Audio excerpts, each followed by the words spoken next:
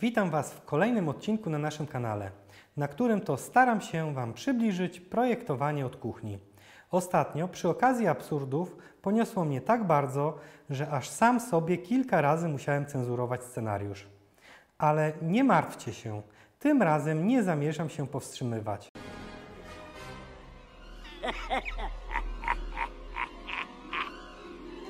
Zatem ponownie będzie brutalnie, śmiesznie i możliwe, że miejscami nieprofesjonalnie. Ale na pewno nie będziecie się nudzili. I po raz kolejny staniecie przed drzwiami mojego projektanckiego świata.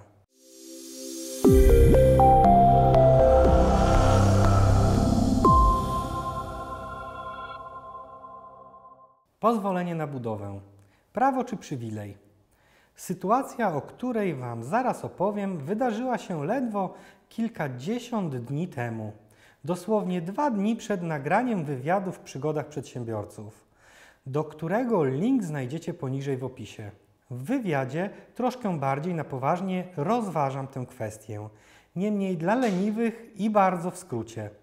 Nasz stały klient, z którym przeprowadzamy już z 20 inwestycję, zapragnął, żeby na jednej z dużych działek w środku Bydgoszczy wybudować trzy obiekty, które będą posiadały dwa pozwolenia na budowę. Biorąc pod uwagę to, że dwa obiekty powstaną w maksymalnie miesiąc, a prace nad trzecim trwać będą około 12 miesięcy, z uwagi na koszty odbiorów oraz koszty pokrewne, zdecydowaliśmy się klientowi pomóc ułatwiając i upraszczając pewne procedury.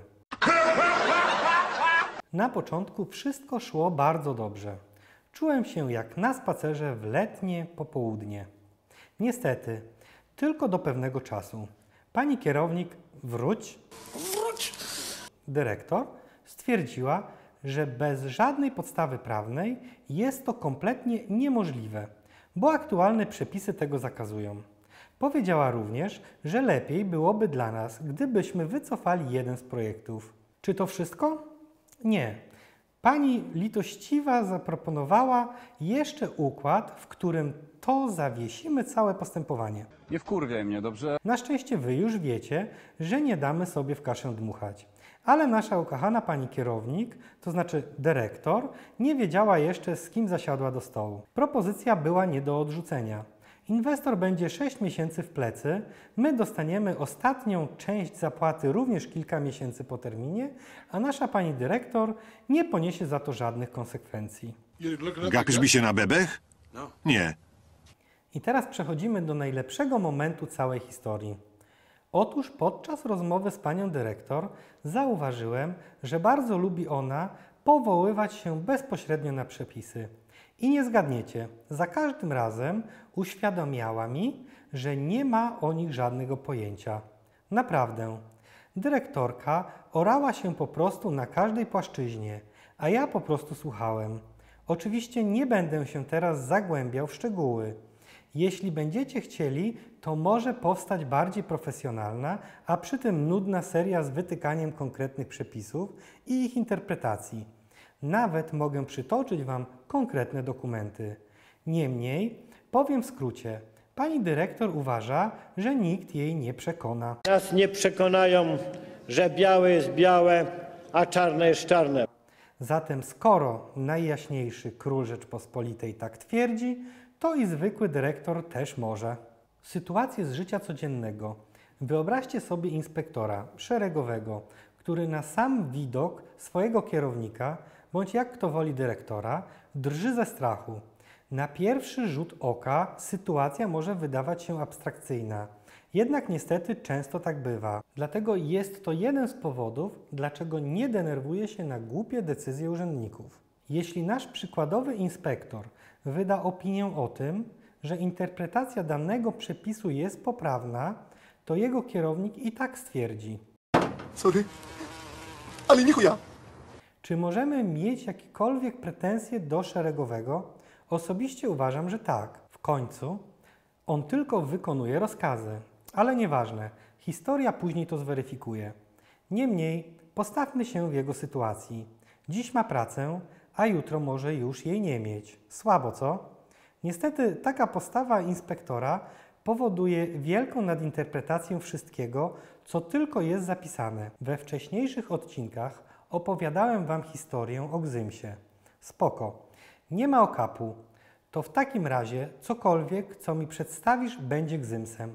W przeciwnym razie dyrektor z politycznego nadania się uprze i odmówi podpisania dokumentacji.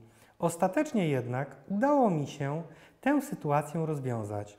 Zaproponowałem pracownikowi stworzenie sztycznego grzymsu poniżej attyki, celem zaspokojenia ego pani dyrektor. No i chuj. No i jakie teraz są procedury? Ogólna choroba urzędnicza. Wszyscy wszystko wszędzie interpretują, mając przy tym zerową wiedzę o prawie, administracji, budownictwie. Serio, tak jest na co dzień. Kierownik katechetka. Proszę bardzo, kierownik etatowy polityk. Nie ma sprawy. Nie wie nic, ale o wszystkim się wypowie. Dyrektor z nadania politycznego? Ile mam wymieniać? Wiem, że to brzmi strasznie, ale niestety to moja codzienność, za którą klienci płacą. Tak, w tym wszystkim to Wy jesteście najbardziej poszkodowani. Kolor dachu, a fotowoltaika. Pewnego pięknego wrześniowego poranka moja małżonka, projektant i współzałożyciel firmy Myk Konstrukcje jedzie do urzędu z przepięknym i ultranowoczesnym domem jednorodzinnym. No nie ma co ukrywać, że dziś inwestor wyda na realizację około 1,5 miliona złotych. Piękne przeszklenia, nowoczesna architektura, wspaniałe rozwiązania projektowe, aż dech zapiera w piersiach na samą myśl, że coś takiego powstanie w naszym kraju. Jednakże na drodze do szczęścia inwestora staje miejscowy plan zagospodarowania przestrzennego i jego interpretacja w Urzędzie Miasta. Otóż na dachu miała znajdować się najnowocześniejsza instalacja fotowoltaiczna firmy Sunroof, szklany dach w kolorze fotowoltaiki, czyli czarnym. Owa instalacja sprzężona miała być z baterią oraz pompą ciepła, a całość za pomocą słońca miała zasilać cały dom w energię grzewczą, chłodniczą, tym klimatyzację oraz napędzać samochód elektryczny. Istny sens bajki. Normalnie można powiedzieć, że spełniły się mokre sny europosłów z Partii Zielonych. Chyba cię pojebało, dziewczynko. Niestety Polska nie jest jeszcze gotowa na takie rozwiązania. Mam wrażenie, że nasz kraj zatrzymał się w miejscu. Mamy XXI wiek, a niektórych ludzi dalej dziwi dach solarny, szklany, a nawet wkurza ich to, że kolor zadaszenia może być inny niż czerwony. Mówiąc kolokwialnie, całe nasze plany poszły się lekko No i w pizdu i wylądował. I cały misterny plan też w pizdu. W małych główkach urzędników nie było jednak miejsca na to, żeby zrozumieć, że instalacja solarna to coś innego niż pokrycie dachu, że ma więcej funkcji niż tylko zwykłe plebejskie uszczelnienie pokrycia dachowego. Więc co zrobili nasi urzędnicy? Zatem zakazali oni stosowania najnowocześniejszej technologii. Mało tego, narzucili nam położenie dachówki w kolorze czerwonym, a na koniec zażądali, zgodnie z warunkami technicznymi 2021 roku, położenie na niej instalacji solarnej. I nie, nie zgadniecie jakiego koloru. Tak, macie rację, różowego. Nie no kurczę, wkręcam was. Czarnego. Powie mi ktoś, gdzie tu jest logika? Jakieś wyższe dobro. Naprawdę zaczynam się zastanawiać, czy takim ludziom zależy na kliencie. Dajcie znać, co o tym myślicie, bo ja już sam nie wiem. Ostatnią abstrakcją tego dnia są znikające rowy. Kolejny przykład, dlaczego projektowanie jest drogie, a zarazem jest to idealny przykład pokazujący, dlaczego ręce mi opadają, gdy co drugiego dnia mojej pracy słyszę coś podobnego, ale zacznijmy od początku. Składamy kolejny z pozoru standardowy projekt. Klient na swojej działce posiada rowy melioracyjne, które planuje zasypać. Niezależnie od tworzonej przez nas dokumentacji, występuje o likwidację rowów, otrzymuje niezbędne zgody i szczęśliwie pozbywa się wadliwych rowów. Mniej więcej miesiąc wcześniej to my wystąpiliśmy o pozwolenie na budowę.